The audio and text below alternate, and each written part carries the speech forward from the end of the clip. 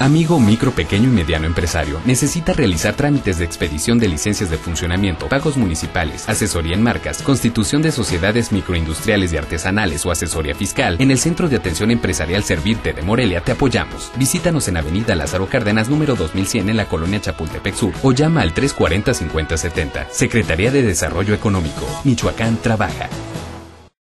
Grupo de Oro presenta porque claro que estamos de acuerdo con la rendición de cuentas, los candados, la obligación de que el gasto se ejerce escrupulosamente. Claro que estamos de acuerdo.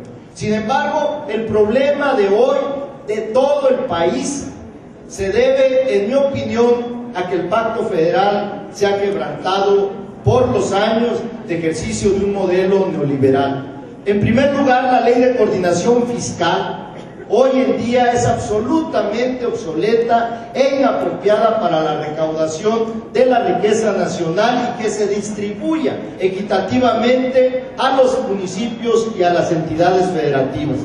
Así lo expresó el gobernador Leonel Godoy Rangel durante el tercer informe de actividades del grupo parlamentario del Partido de la Revolución Democrática en el Congreso local. Indicó que con ese acto el grupo parlamentario del PRD abona al fortalecimiento de una vida democrática, ya que rendir cuentas, transparentar el ejercicio de poder, fortalece sin ninguna duda a nuestra democracia.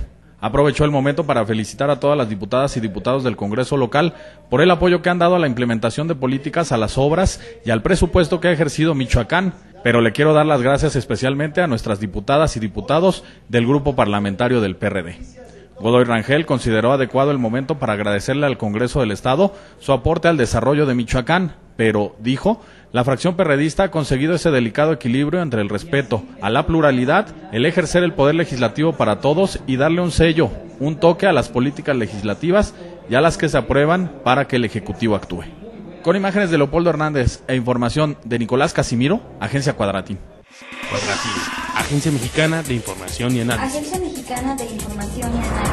Morelia.